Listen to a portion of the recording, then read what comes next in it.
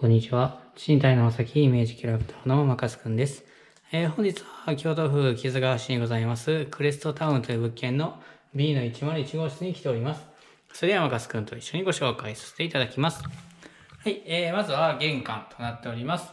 玄関入りますと下駄箱収納ですね、ついておりまして、玄関入ってね、まず右手側には、えー和室がございます。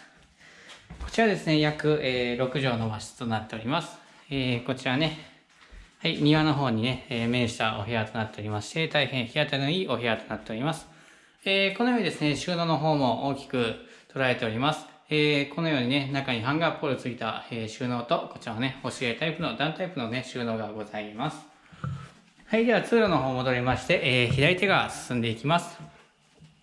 まずですね、最初の、えー左手側の、えー扉開けていきますと、このようにですね、はい、お手洗いがついております。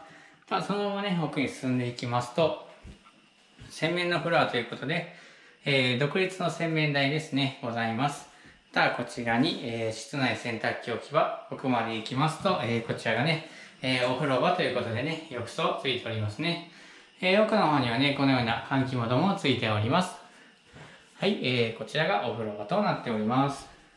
はい、えー、さあまたこちらですね、本階の方には収納ですね。このような段タイプの収納がついております。はい。またですね、こちら奥の方には洋室ですね、一部屋ついております。さあ、こちらの洋室の方もね、えー大変綺麗な、えー洋室ですね。収納の方もこちらですね、大きく取られております。クローゼット収納ですね。このような段タイプの収納と、えーこちら2本ですね、ハンガーポールがついた、えー収納ですね、お洋服もかけていただけるようになっております。はい、えー、それではですね、続きましてですが、えー、リビングの方ですね、入っていきます。はい、えー、こちらがね、えリビングとなっております。まずはキッチンの方に向かっていきますと、えー、このようにモニター付きのインターホンついております。マカスくんのおすすめですね。さあ、またね、えー、このようにキッチンも、はい、上下にしっかりと収納がついております。えー、このような、えー、しっかりとね、調理スペースも確保されました、えーキッチンとなっております。